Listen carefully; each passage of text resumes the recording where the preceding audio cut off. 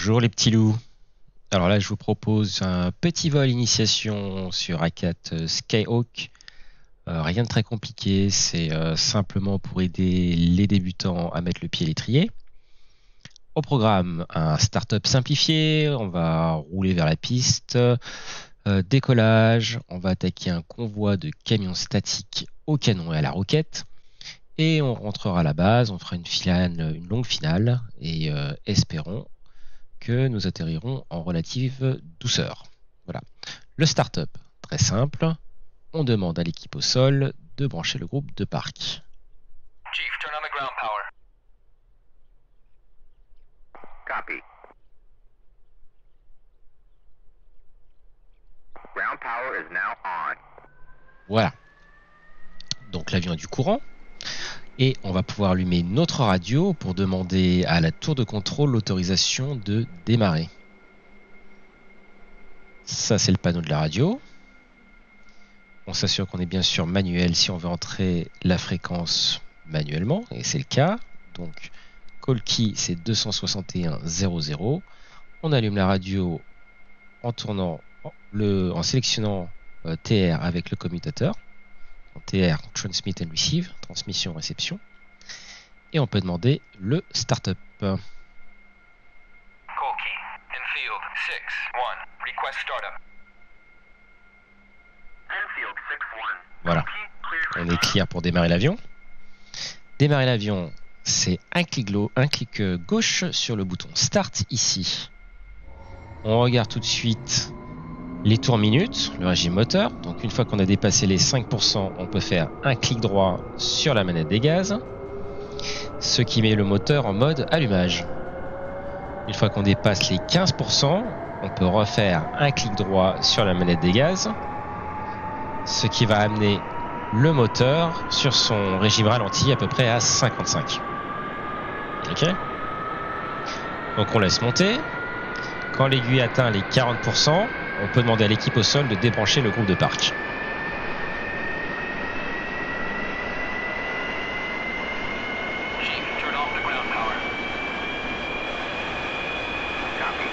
Voilà. Une fois qu'il a confirmé l'ordre, euh, on peut fermer la verrière, ça sera moins bruyant.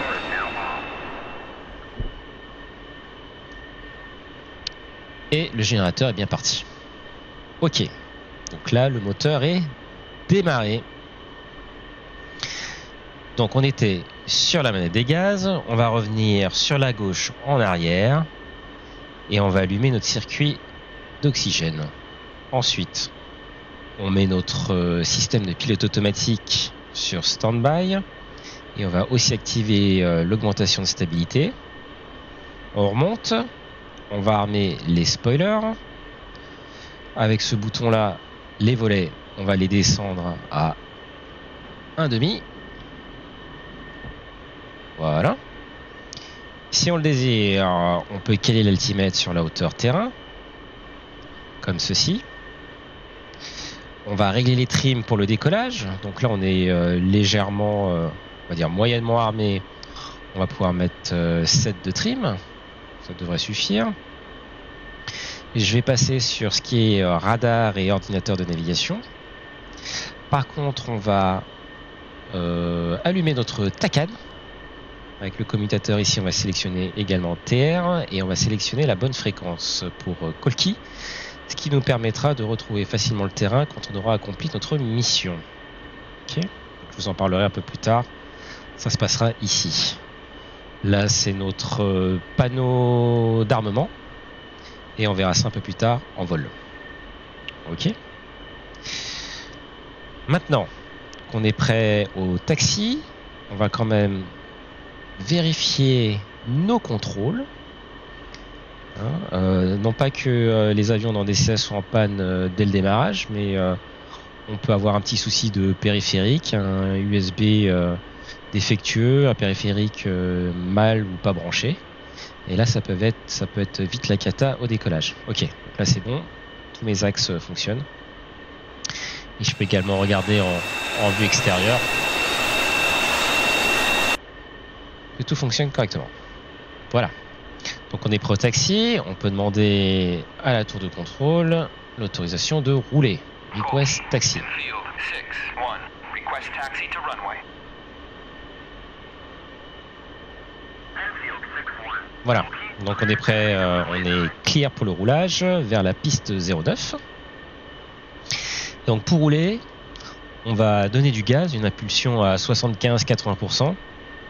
Ça dépendra de, ça dépend de la charge. À 75% ça devrait aller. Et une fois qu'on est lancé, on peut ramener les gaz à 70%. Allez, c'est parti.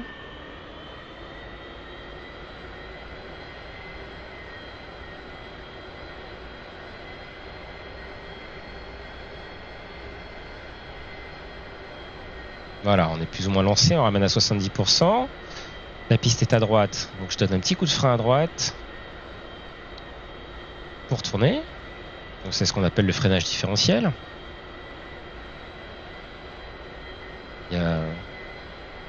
On ne dirige pas la roulette de nez, on donne des petits coups de frein. Voilà. Donc on est sur le taxiway.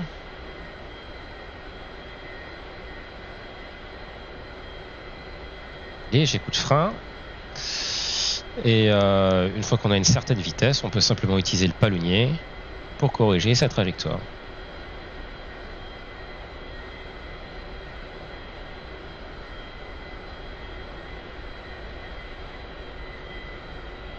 Voilà, on approche de la piste.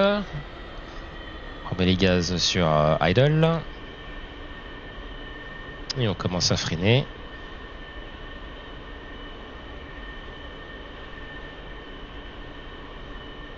pour s'arrêter au seuil des pistes.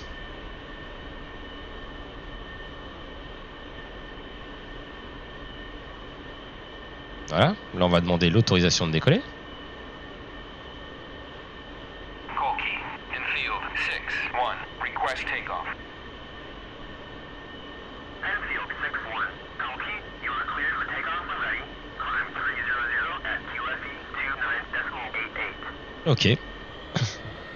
Y aller.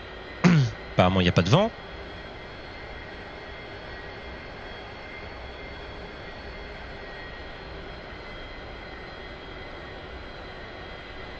Enfield 6-1. Donc on s'aligne sur la piste.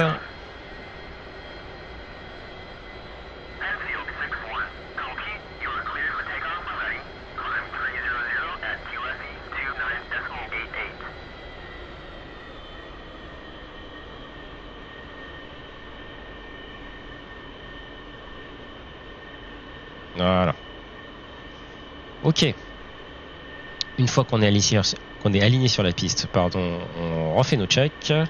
Spoiler armé, flaps à moitié, trim sur euh, 7. Donc on va mettre les pieds sur les freins, on va lancer les moteurs, on va lancer le moteur sur euh, 85%, régime moteur à 85%.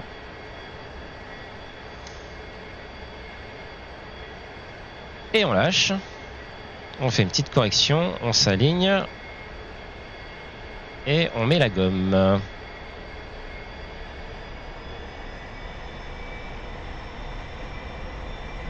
Maintenant, bien lancé, on n'utilise plus que le aligné pour contrôler la trajectoire. Voilà, à peu près à 130-140, l'avion va vouloir euh, va cabrer, va commencer à monter. Voilà, ça monte tout seul. On a quitté le sol, on remonte le train d'atterrissage. On trim pour garder l'horizon visuel droit devant. Faut pas monter trop fort, il faut qu'on qu'on gagne de la vitesse. C'est essentiel.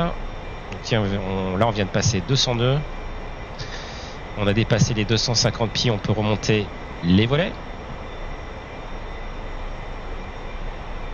Voilà, on atteint les 250 nœuds et on peut commencer à virer vers notre euh, prochain waypoint ou notre objectif et continuer à monter entre 250 et 300 nœuds.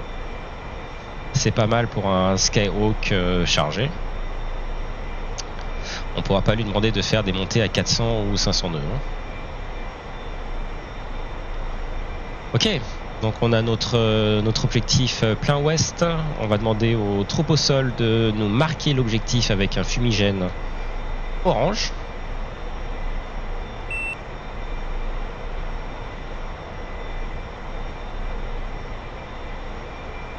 Et est-ce qu'on voit?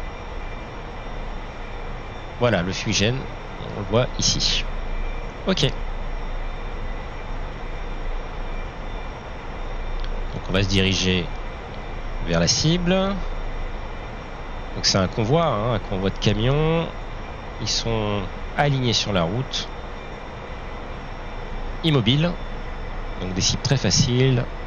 Et il n'y a pas euh, de menace euh, sol-air. Ni de chasse. Donc euh, pas de tactique particulière d'évasion, pas de manœuvre d'évasion, pas de largage de leurre. C'est juste de la familiarisation simple avec, euh, avec l'armement le plus simple, donc le canon et la roquette. Ok, donc je vais enclencher mon pilote automatique maintenant. Engage. Altitude maintenue. Et je vais préparer mon avion. Je vais dégager le stick. Je vais préparer mon avion pour une attaque euh, au canon. Donc je sélectionne mon canon ici, je vais l'activer. Et je vais euh, mettre mon Master Arm sur On. Voilà. Et donc là, mon avion est prêt à tirer des obus. Je vais descendre mon siège. Comme ça. Euh, et je vais me diriger vers euh, la target.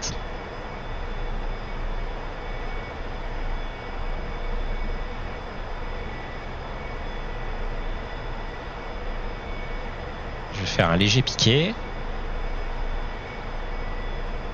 Et je vais straffer le convoi.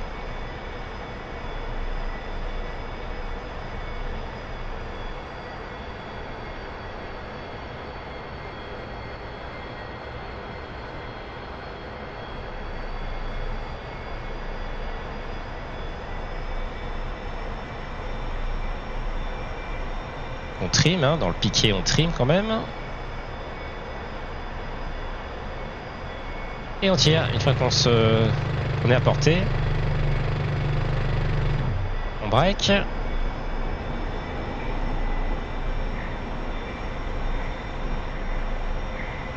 Et on évalue les dégâts. Alors, une, deux, trois, quatre colonnes de fumée. Donc ça fait quatre camions euh, confirmés détruits ou euh, quasi détruits. On va refaire une passe à la roquette. Donc pour la roquette, on va désactiver le canon. On va armer les roquettes. Arme nos tail. Sélectionner nos pylônes sous les ailes. Donc 1, 2, 4 et 5.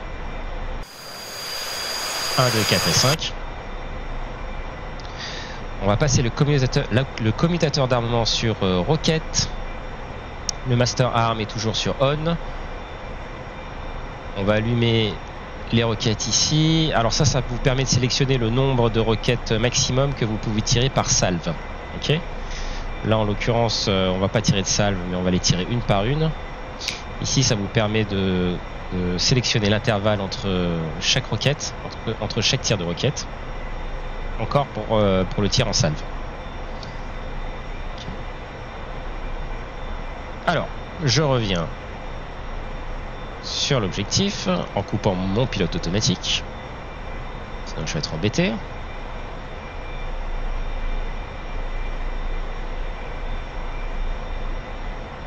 Et la dernière chose que je vais faire, c'est que je vais descendre mon viseur à 10, ce qui me permettra de viser un peu plus haut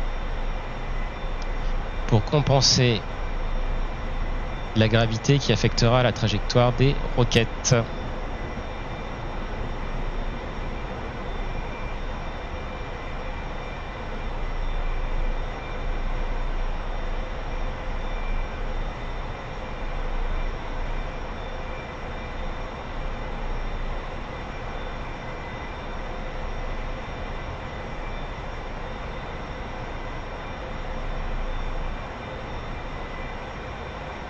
Voilà.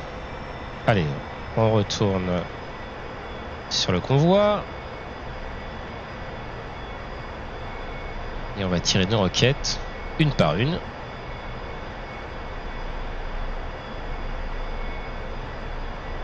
En espérant euh, qu'on puisse détruire le reste, de, le reste des camions.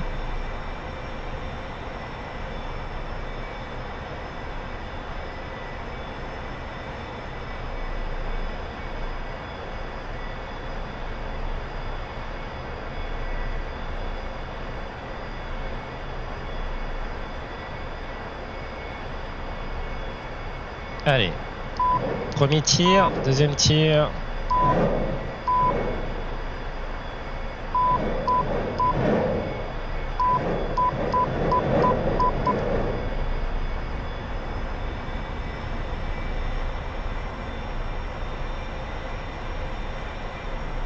Alors, on va compter les colonnes de fumée. 1, 2, 3, 4, 5, 6.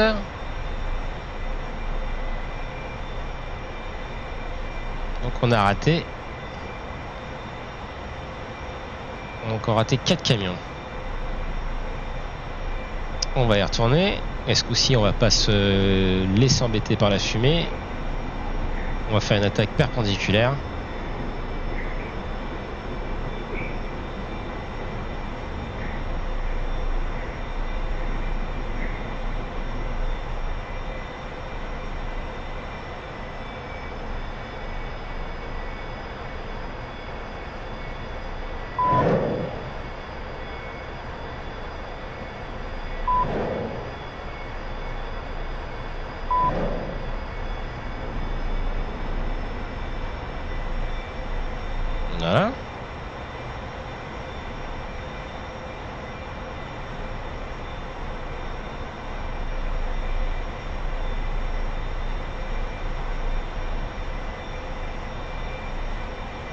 1, 2, 3, 4, 5, 6, 7, 8, 9. Ok, il reste un camion au niveau de la petite intersection. On va essayer de faire notre dernière passe correctement.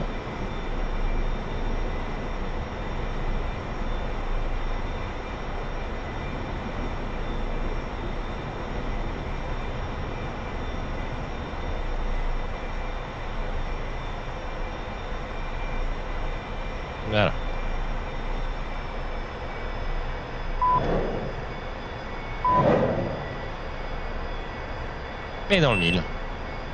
Tous les camions ont été détruits. Mission accomplie.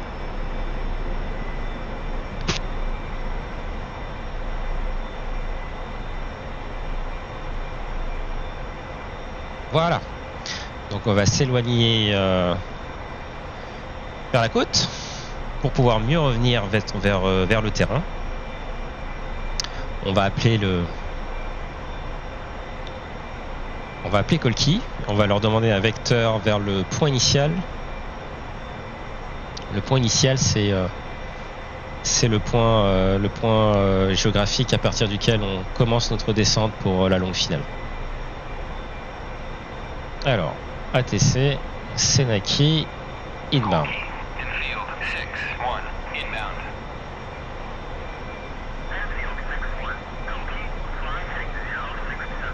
Alors, il me demande de partir au 067, au 067.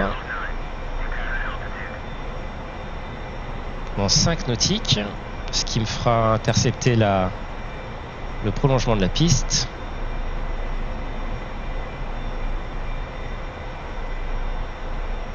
Et je pourrais commencer ma descente. Voilà, alors 067. On va regarder vers, euh, vers l'est, voir si on voit la piste. Là, on voit la piste, on peut déjà s'aligner.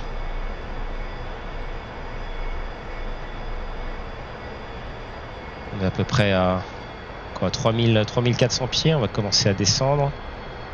On va ralentir pour se mettre euh, en configuration d'atterrissage.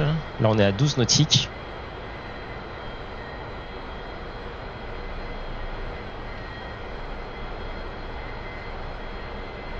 normalement on commence la, descente euh, à 3000 pieds et 10 nautiques. Et on descend de 300 pieds tous les nautiques.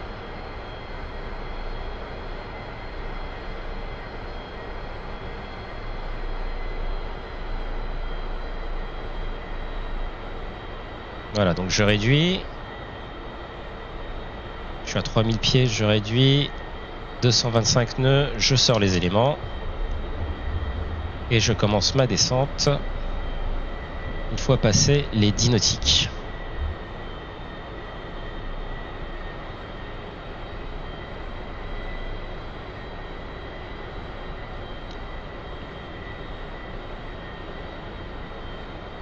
Alors je sors les aérofreins.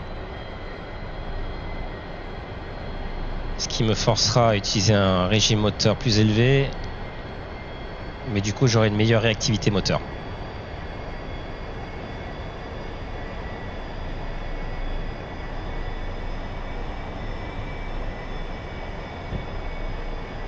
Donc maintenant le tout c'est de garder une bonne incidence. Donc à peu près euh, 17 unités ici, voilà. Et quand on a le donut orange, c'est qu'on est bon.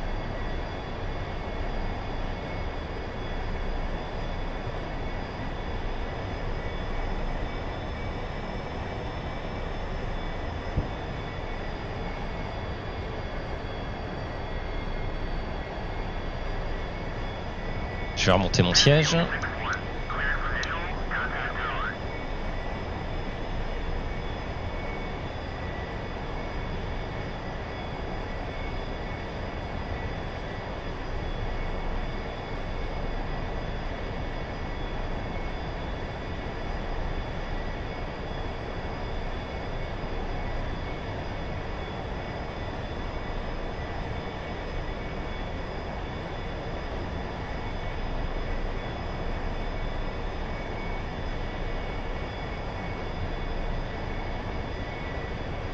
Suis légèrement bas, je suis à 1000 pieds alors que je ne suis alors que je suis qu'à je suis déjà je suis à 4 nautiques.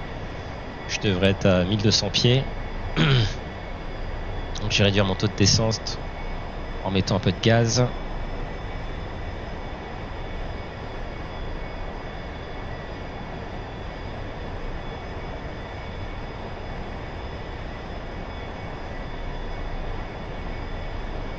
Voilà, 3 nautiques, 750 pieds, légèrement trop bas.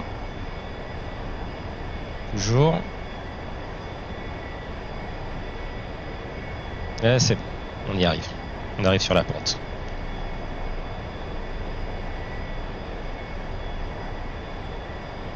Enfield 6-1, copy, check with Voilà, on a la bonne incidence, on est sur la bonne pente.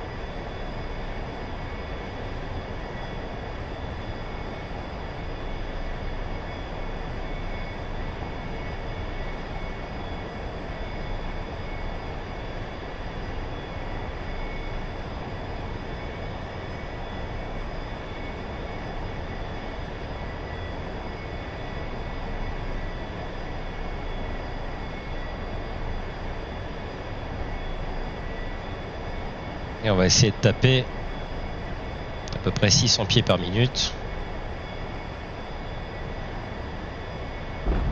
Paf. Voilà, on ramène les gaz. On contrôle la trajectoire de l'avion au palonnier. Et en dessous des 102, on peut commencer à freiner. Pas trop pour éviter les dérapages.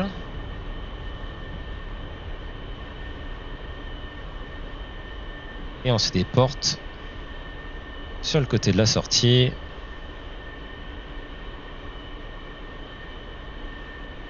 Comme ça.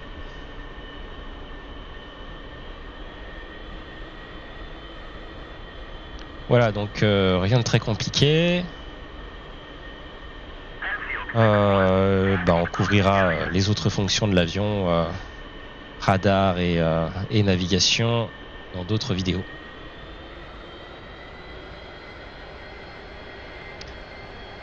Voilà, j'espère que ça vous aidera et à plus tard. Salut les petits loups.